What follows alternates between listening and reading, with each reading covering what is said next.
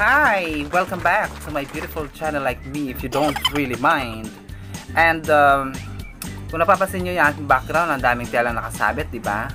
Ano yan? Uh, Design-design lang yan. Pero nakaka-press ko sa kapaligiran. Okay, so hindi naman yan ang topic natin. Ang topic natin ay yung paggawa ng color ng jersey. Sa nakaraan nating video, di ba, pinag-aralan na natin, ginawa natin yung Lakers style color ng jersey. So nakaisa na tayo. Ngayon naman ay gagawin natin yung iba pang style like yung standard scoop which is yung pinaka round parang round neck. And then gagawin natin yung overlapping V. V with triangle. V with home plate. Ano pa ba? Ako nakalimutan. Ko blunt V. Blunt V yung may parang may parang ano siya dito kudrado dito. to Okay? So, gagawin natin lahat yan in this video. Kaya tumutok lang kayo. Uh, gusto mo magtayo ng sports uniform someday. So, this is for you. Everything you want to know. Okay?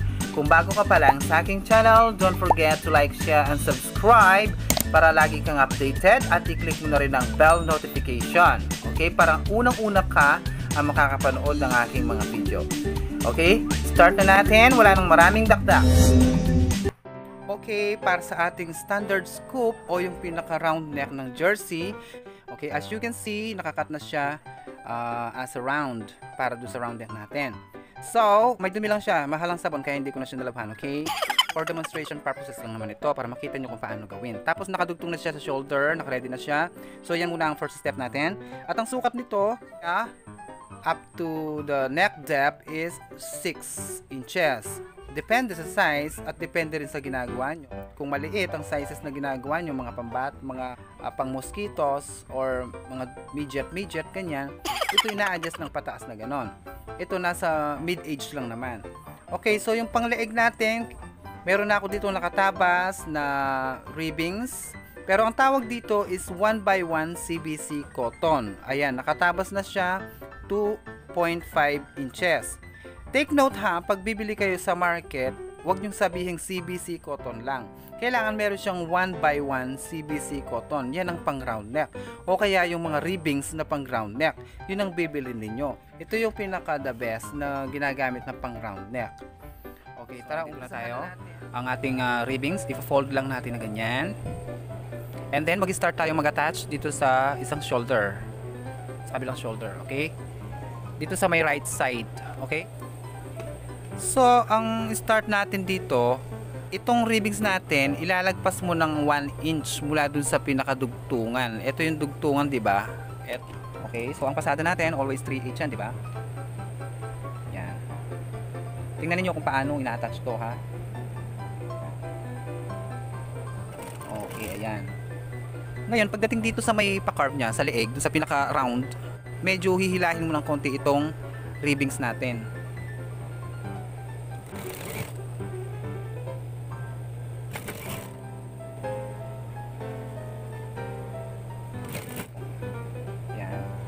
Tapos, pagdating dito, light lang ang pagkahila ha, dito sa may pagpataas na siya. Tapos sa batok, medyo hihila ka rin ng konti, bandang batok. Para gumanda yung bilog niya. Ayan na siya. So, malapit na tayong mag-meet dito. Dito sa may dugtungan. Sa may pinaka-end. Ngayon, ang gawin natin, putulin lang natin dito ang pagkaputol, pantayin natin dito sa isa, doon sa pinaka-end. Pantay lang natin dito yung putol. Okay? That's it. And then, medyo iwanan, iwanan muna natin nakabukas na ganyan kasi ito, pagdudugtungin muna natin tong dalawa bago natin ituloy. Okay? So, ganyan ang pagdudugtong. I papagpapatungin muna na ganyan and then dito tayo magdudugtong yan. 1/4 lang ang allowance dito. So ayan, naidugtong na natin. So ang gagawin lang natin, ibubuka. Ayan, ibubuka natin ang alawan sa loob para hindi nakabukol, nakabakat. So, tapos saka natin ituloy ang pasada. Ituloy na natin ang pasada. Okay?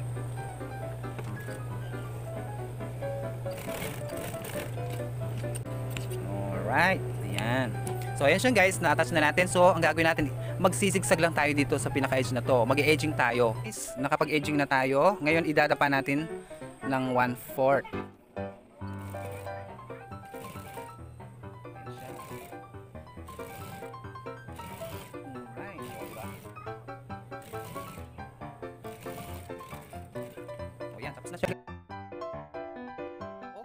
Tapos na yung ating round neck.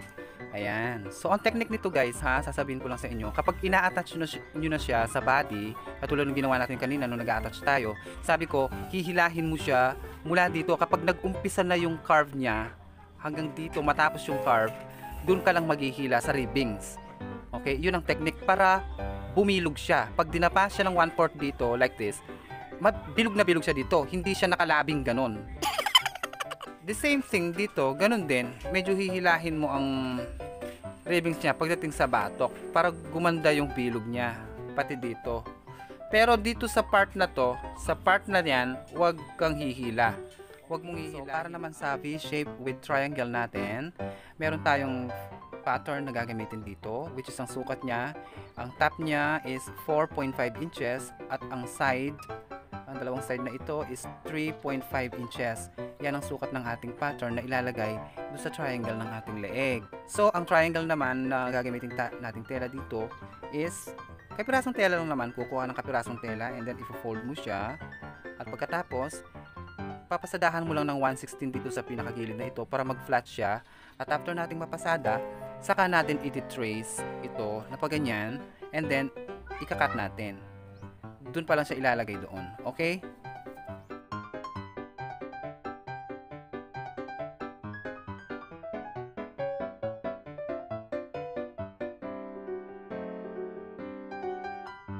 Start tayo dito sa may bandang ibaba ng neckline dito sa harap, sa may V-shape niya mismo. Doon natin unang i-attach ang ating triangle. So ang pag-attach nito, guys, dun sa right side dito mag-start tayo dito sa isang side ng triangle. So ganyan. Ating maglalagay tayo ng point dito sa may down uh, 3-8 and then ito rin lalagyan natin ng tanda ang ating uh, triangle. Lalagyan mo ng tanda dito. Ayan. So magkakaroon tayo ng point. So i-attach natin dito sa may right side sa kabilang side ng triangle. At ipagtatapat natin yung dalawang point na ginawa natin. Ito yung isang point, tapos yung point na isa. So, magtatapat yun. Ayan.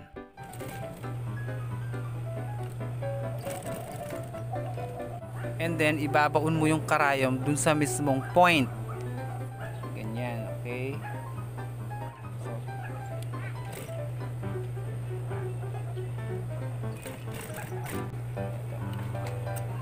So, so nailagay na natin. Ito, maglalagay tayo ng pikete dito. Ayan. Dapat pala, kanina pa natin pinikete. Para mabuka siya dito. Ayan. Para ito magkaroon ng kanto dito. So, ang piping natin, easy lang ang paglagay. mag start tayo dito. Ilalagay lang natin ang ganon. Tapos tatahiin natin. Okay? Sa tingnan ninyo. Oh, ayan o, oh, hanggang lang, di ba?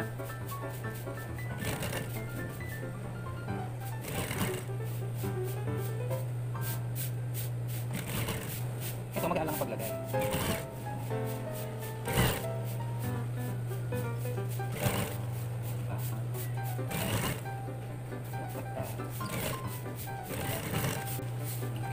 After that, pitin natin. Tapos, syempre ito nakalaylay, 'di ba? Tahiin mo lang siya dito para flat. Tapos na siya. And then gawin natin mag magdadapa tayo ng 1/4.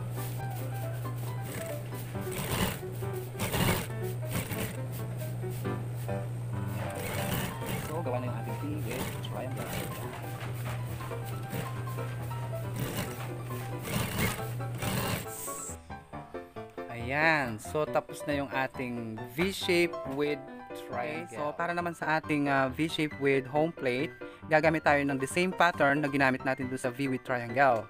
Ang sides. So, ito na yun. Nakagawa na tayo dito. Ngayon, ang paglalagay naman sa body, i-assemble na siya. Bubuuin na natin ang uh, piping na naka V-shape na siya, naka-prep na siya, i-attach natin sa body, buo na siya, buo na yung collar. So, ang unang natin gagawin yan is susukatin natin ng neckline like this kukunin mo lang yung center and then ang pang isusukat natin gagamitin ang mismong piping so isusukat mo lang siya sa kanyang ganon sa kanyang pinaka neckline and then pagdating dito sa may dulo dito ayan ito yung pinaka dulo saka mo siya uh, iuurong ng half inch yung sukat hindi, hindi saktong sakto kumbaga magbabawas ka ng half inch dito sa piping. And then saka mo siya i-fold. I-fold natin na ganun. Okay. And then, saka natin gugupitin. So, ito na yung ating collar. So, guys, pagpapatungin mo lang na ganon ang ating V-shape. Ayan, medyo, i- yan. I-V-shape natin. And then, tatayin natin dito. Ayan, nating ma-V-shape. Ilalagay natin ito. Ayan. So, itutupi lang natin siya, guys. Ayan, dapat ang pagtupi nito, like this, ha? Tingnan nyo. Ayan. Kailangan, saktong-sakto yung kanto niya dito. Hindi pwede yung tumupi ka ng sobra-sobrang ganon, ha? Tingnan mo. Sobra, yung kanto niya nandito. Wala siya dito. Tingnan nyo, oh. Tingnan nyo, guys. So, yan. Mali yung pagtupi na ganyan. Kailangan yung pagtupi, isasakto mo siya dun sa dito, ha? Walang sobra-sobra.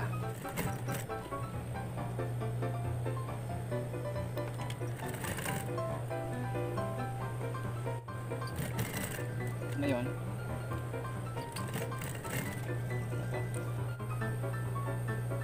ito siya. Ayan. Ito. Saka natin ilat ilalagay ka ng point. Pikitahin na natin para hindi tayo mahirapan mamaya. Ayan. Para hindi na tayo hirap. Pikitin.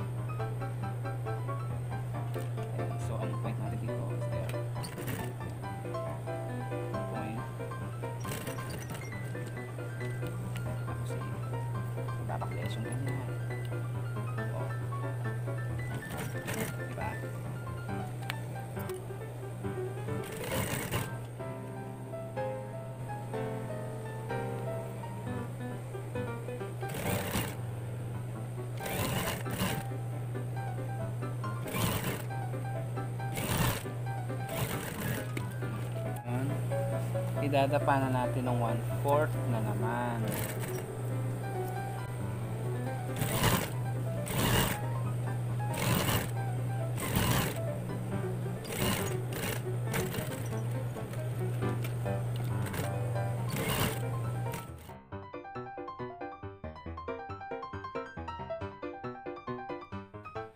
Ganon din, susukatin lang natin ang neckline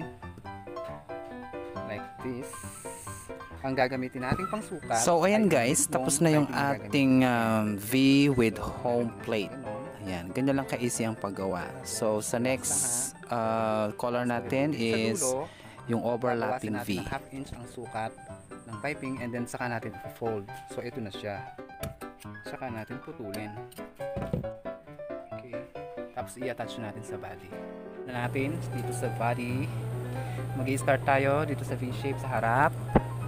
Lalagay tayo ng point para hindi tayo malito. Ayan. And then pipikitahin na natin siya agad. Mm.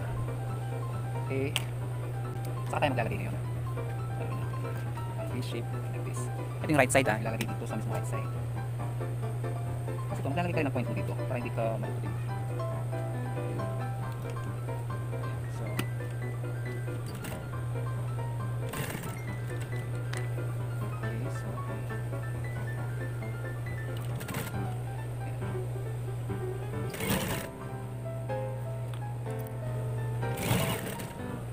Then, hahawakan mo to. Hahawakan na natin ang dulo dito. Lalagyan tayo ng allowance, konti. And then dito.